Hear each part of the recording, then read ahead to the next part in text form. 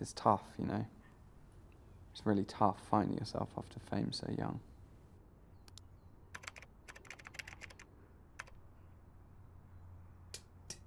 Oh, remember this? The old. Nah, I love it, love it.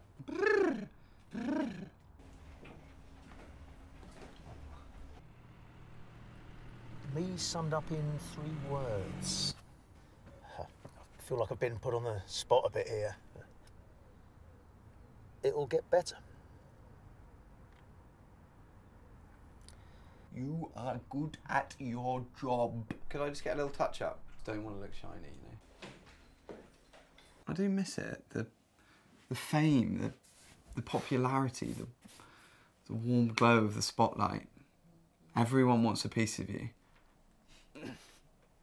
Makes you think. Why can't an adult be a cowboy? Also, I do a killer American accent. Most people thought I was American because of the ads. I get that all the time. Nope. Just really good at my job. Do you remember them? Do you remember the ads? I was good, wasn't I? I'd uh, break into people's houses and deliver them a box of chocolates. Then I'd leave without a trace. Apart from my calling card, of course. What's not to love? It's that man again. Ow! No, come on, It's follow me, the milk. He continues to break and enter, which he knows, as I made clear to him time and time again, is against the law. All he needs to do is just knock and then wait politely, like any other normal human being would.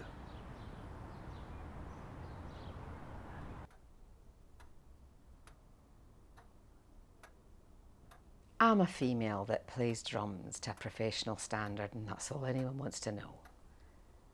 Uh, My parents were musicians. My mum was a composer and dad was a violinist. I was born for it. The rock and roll lifestyle chose me. It's in my genes.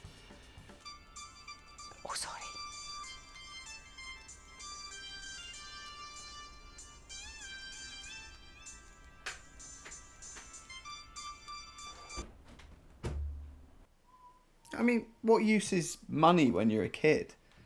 I was offered to get paid in white chocolate, and so I got paid in white chocolate, and it was absolutely perfect for a while. I was the most popular kid in school. Everyone loved me.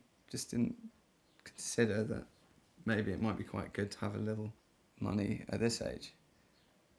You live and learn. Yeah, so these ones aren't for eating. These ones are my income.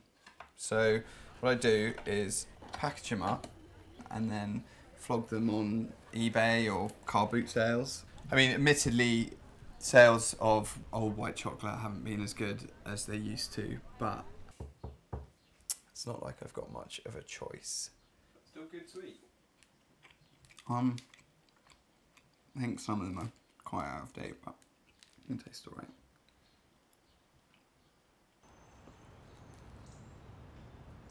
So, I have to stay within one kilometre of the house. Actually, it's worked out quite well. I have everything I need within walking distance. They do say shop locally and support local businesses and all that. Besides, it's a lovely place to live.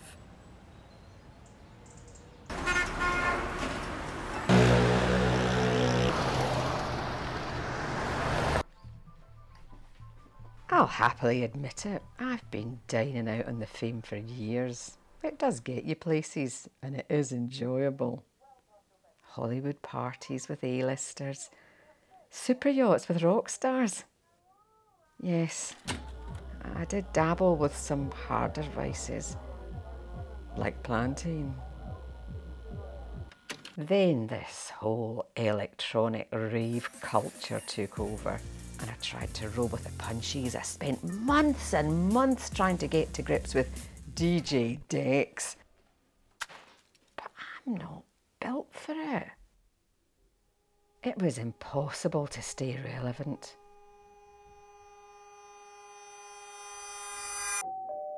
Oh, sorry, got to get that.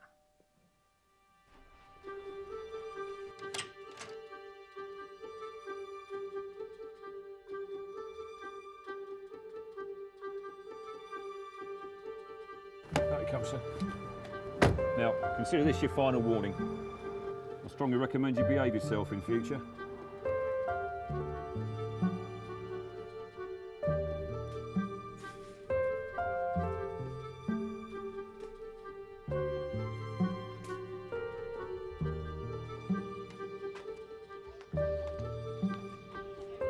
And the sad irony is, I'm lactose intolerant. I feel so dishonest. Thank you for sharing your stories, you brave, brave people. We're here to help you discover life after Big Choc, to give them two fingers and not look back. Life has moved on, and you can too. But chocolate's all I've ever known. It's all I've ever loved. Guys, you do not need to give up chocolate. You just need to choose a better choc. One that's going to be there for you. One that's not going to let you down. Because there is more to life when you eat Love Raw.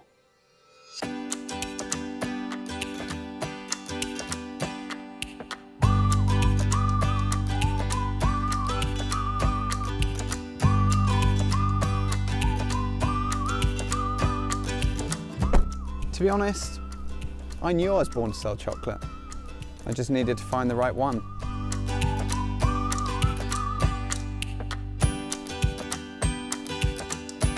Here's your love raw, Mrs. Brown. And just remember, if you get in the saddle, then you've got to be ready for the ride.